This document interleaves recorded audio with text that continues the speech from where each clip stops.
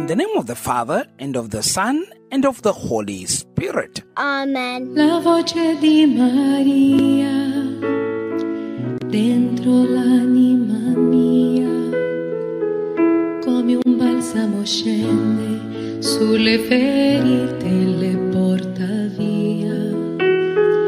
La voce di Maria,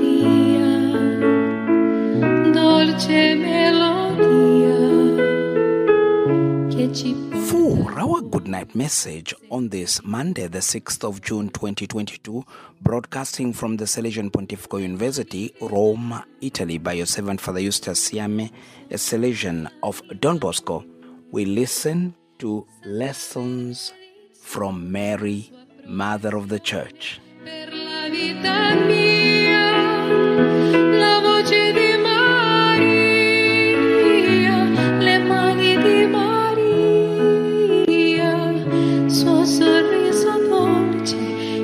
Fa cantare, sei la mamma mia.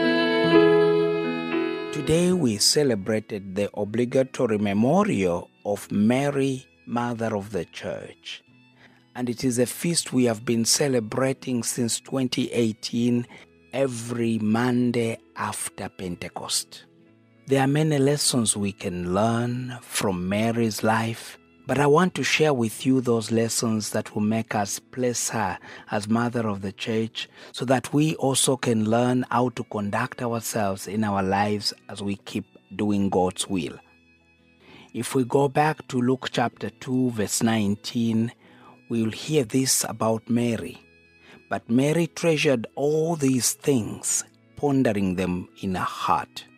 Mary was quiet before the Lord and meditated on all he had done in her life. How often are we truly quiet before the Lord? Just pondering on what he has done and he is doing in our lives. Do we take the time to meditate on his word? The other lesson we draw from Mary is that she turned to Jesus for help when she had a problem to be solved. John chapter 2, verse 3 to 5. When the wine ran out, the mother of Jesus said to him, They have no wine. And Jesus said to her, Woman, what does this have to do with me? My hour has not yet come. His mother said to the servants, Do whatever he tells you. I don't know where you turn to when you have problems in your life. Maybe you turn to your friends who just end up gossiping or expanding on your gossip. Maybe you turn to witch doctors who just make your situation worse. Mary found in Jesus the first counsel. Do we spend time worrying or do we point others toward Jesus? The Bible tells us in 1 Peter chapter 5 verse 7, cast all your anxiety on him because he cares for you. Mary did exactly that. And with this lesson learned, we are going to cast our anxieties, our worries, our concerns on him because we know he cares. Mary knew that Jesus cared a lot. That's why she was able to cast the cares on her son. Mary was a woman of worship. She gave praise to her Lord, knowing that the road before her was going to be a difficult one. Do we praise Him in and through all circumstances of our lives? We see Mary in Luke chapter 1, verse 46 to 47 saying, My soul magnifies the Lord, and my spirit rejoices in God my Savior. The other lesson we draw from Mary is that she trusted in the Lord and waited on His timing.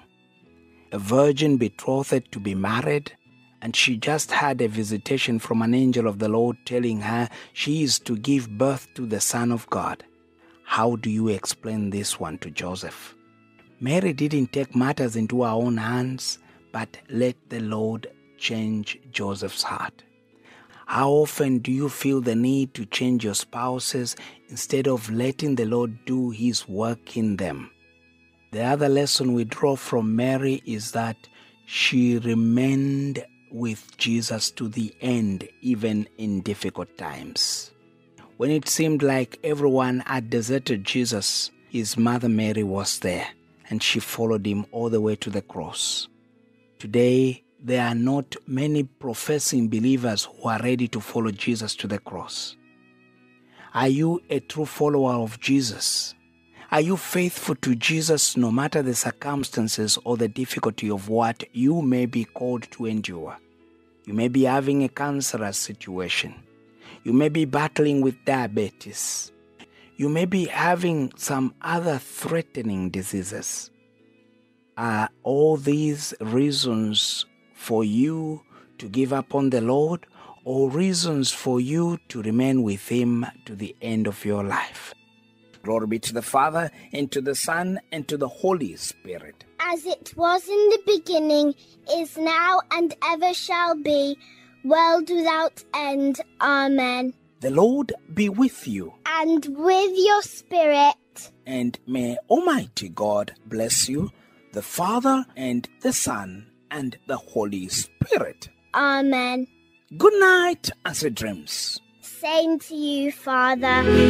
L'amore di Maria, dolce poesia, che sussurra al cuore sempre di più